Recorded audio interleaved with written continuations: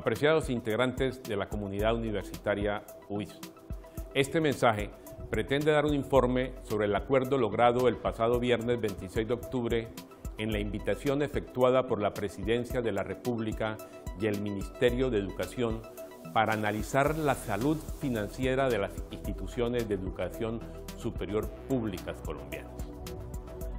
En primer lugar, vamos a mirar qué recursos se consiguieron para el financiamiento de la educación pública pertinente al funcionamiento. En el Plan General, el Presupuesto General de la Nación, en el año 2018, se destinaron para ejecutar el presupuesto de la Nación 235.5 billones de pesos.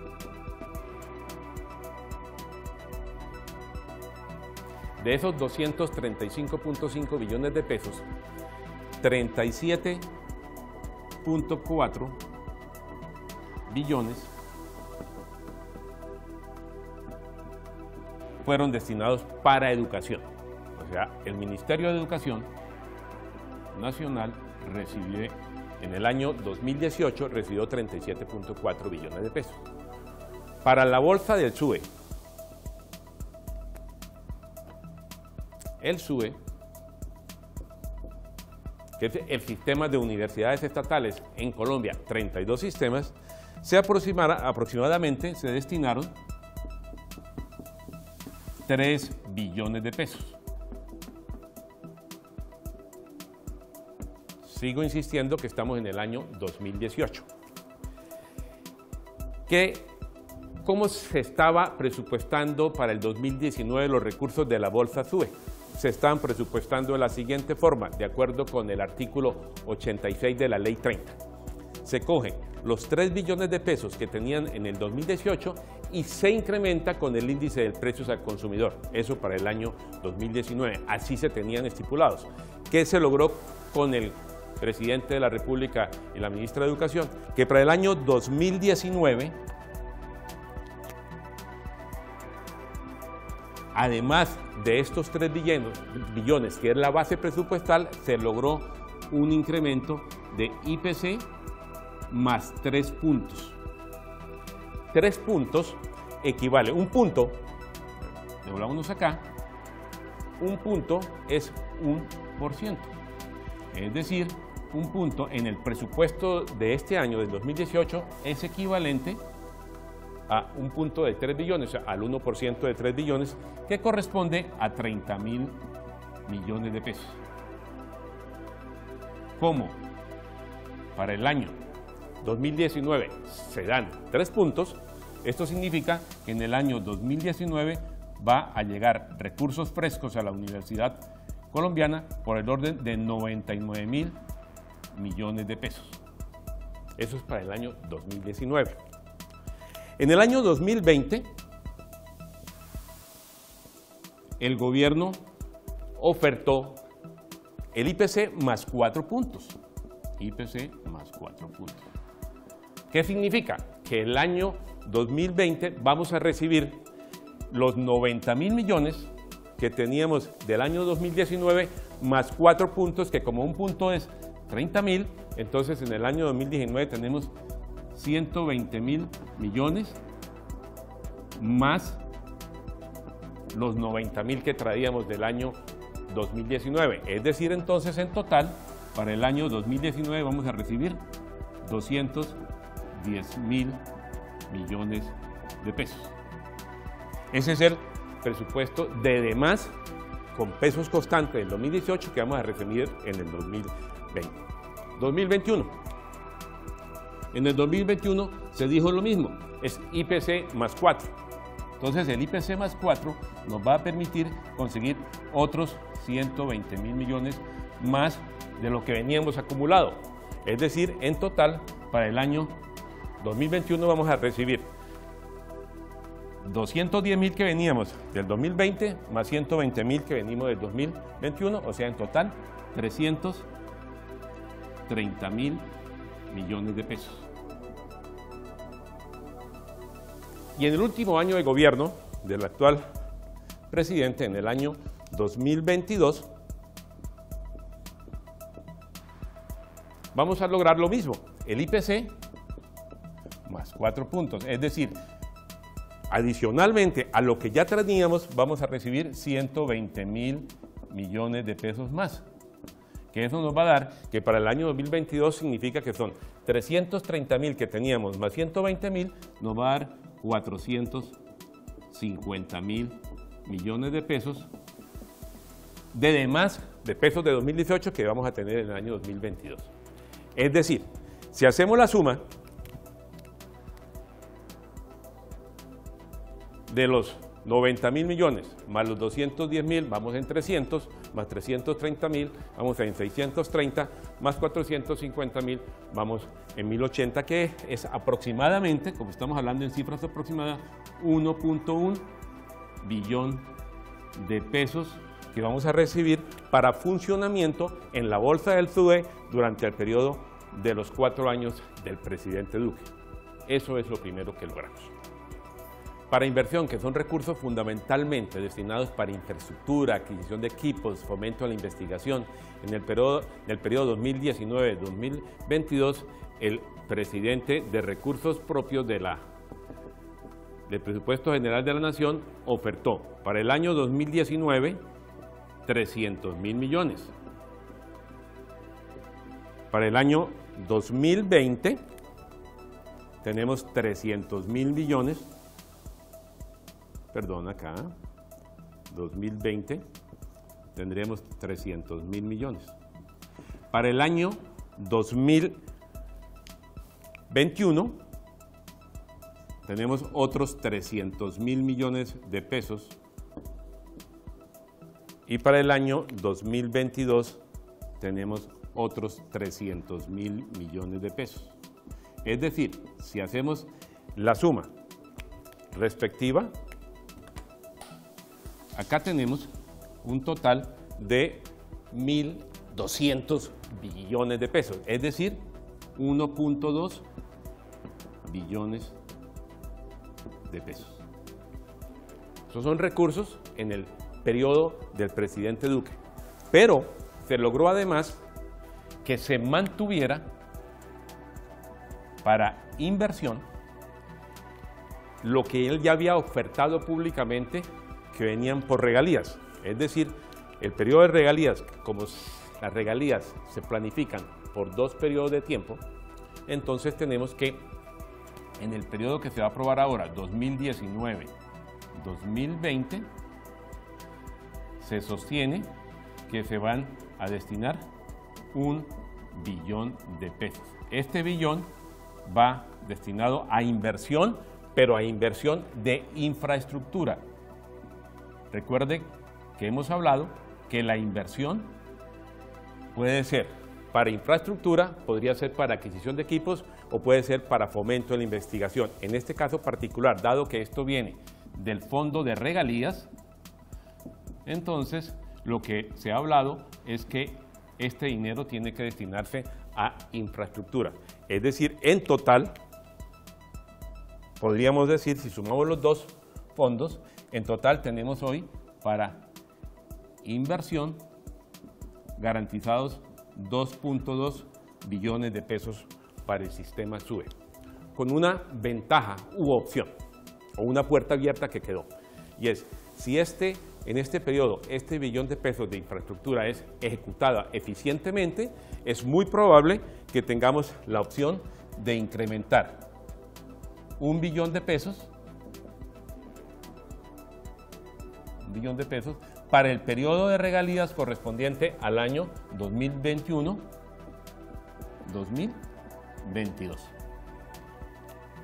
Además recordemos que el artículo 142 de la reforma tributaria de 2016 dice que de los excedentes de las cooperativas, el 20% se deben destinar a fortalecer la educación superior, pero en el año eh, inicialmente va un 10%, después va un 15% y después iba al 20%. ¿Eso es qué se traduce? Eso se traduce más o menos en lo siguiente, por excedentes de cooperativas.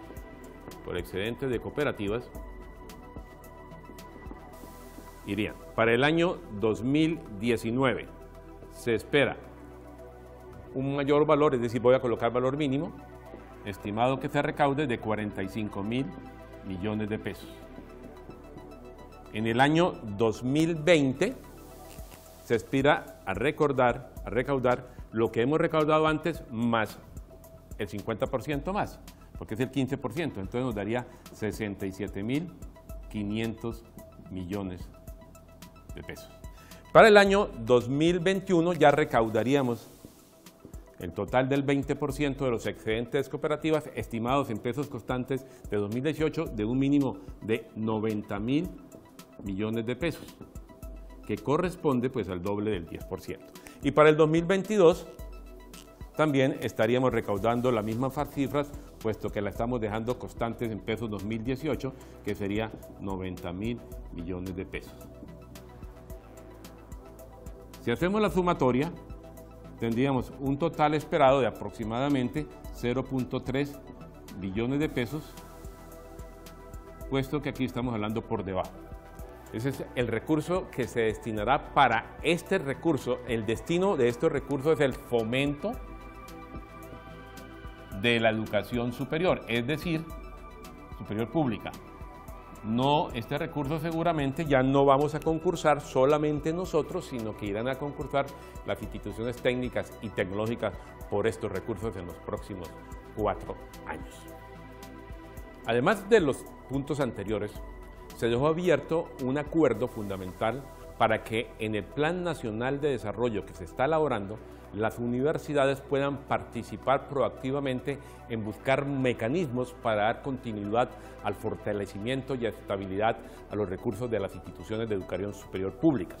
Por ejemplo, hemos estado analizando la posibilidad de que en el plan de desarrollo próximo quede, quede establecido que para el siguiente periodo presidencial se mantenga el IPC más 4.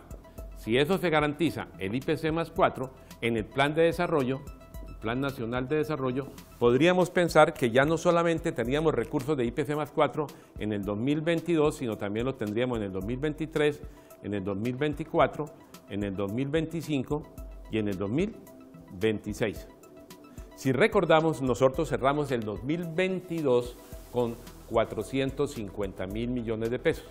Eso significa que si le sumamos a los 450 mil, los 123 mil que corresponde a los cuatro puntos para quedarnos en pesos 2018, entonces estaríamos hablando que esto corresponde a 450 más 120 nos daría 570 mil millones de pesos.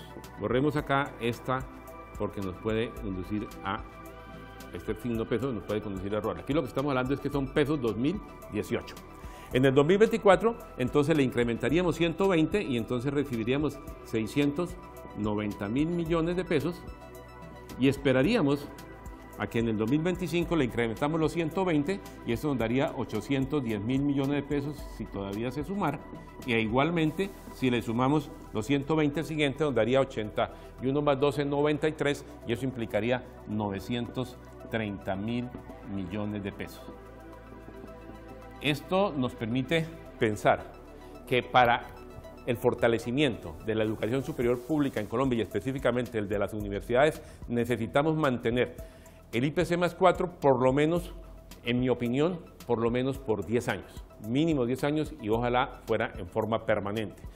Pero para ello se requiere que el próximo presidente esté obligado a hacerlo. ¿Cómo se logra hacerlo? Hay dos vías. Una, introducir esto en el Plan Nacional de Desarrollo que está próximo a iniciar el trámite en el Congreso de la República, o dos, reforma a la Ley 30 en el artículo 86.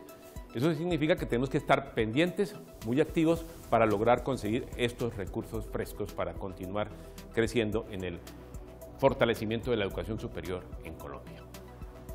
Lo importante es señalar que este es el primer paso para avanzar en nuevos modelos de construcción de políticas públicas para la educación superior en el país. Eso es fundamental que entender que lo dejamos en el acuerdo. Pero es importante resaltar que este acuerdo se logró por el apoyo solidario de diferentes sectores. En primer lugar, una gratitud inmensa a los estudiantes que unidos lograron incluir el tema de la educación superior como prioritario en la agenda nacional. Gracias, gracias, gracias.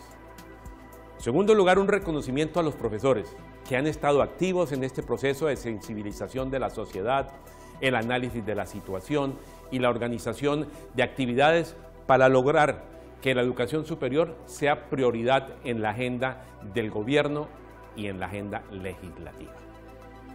También es oportuno agradecer el apoyo ofrecido por la ciudadanía colombiana al sumarse a esta justa demanda y participar con su voz y presencia en las diversas actividades de socialización a lo largo y ancho del país.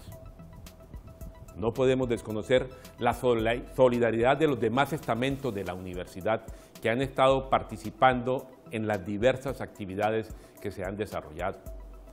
Y finalmente, es importante recordar, no olvidar, que desde hace más de dos años el tema de, la desfinanciación del sistema universitario estatal ha sido una reflexión y exigencia permanente de recursos por parte de los rectores de las diferentes instituciones de educación superior públicas colombianas.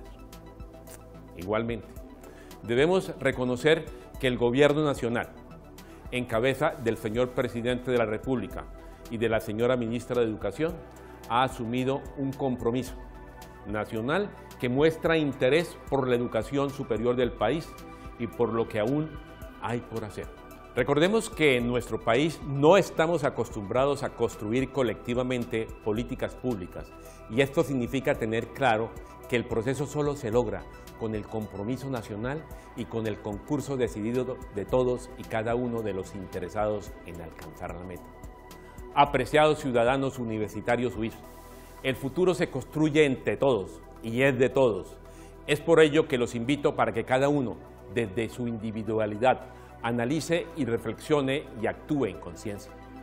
Nos corresponde seguir trabajando con y por la excelencia académica, así como avanzar en la construcción conjunta en una política de educación en Colombia, no solo de educación superior, ni solo de financiación. Concluyo con un mensaje de esperanza, de optimismo y de tranquilidad por el buen futuro de nuestras instituciones cuando se atiende la educación, indiscutiblemente ganamos todos, pues en ella recae la posibilidad de construir país.